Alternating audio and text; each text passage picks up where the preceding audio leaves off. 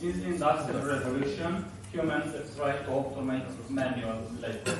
Tree planting was never automated because the planetary forest was considered an infinite resource and such up to half has been cut down. Unknown to our ancestors, however, the planetary forest acted as a huge climate regulator and as such carbon sequestration fell down.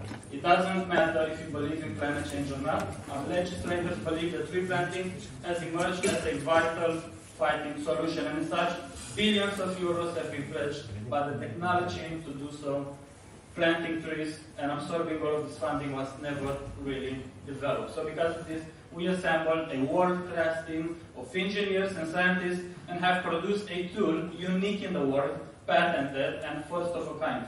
With the Seedfall tool, we can automate and plant large amounts of trees. We are faster, cheaper, scalable, and highly uh, efficient.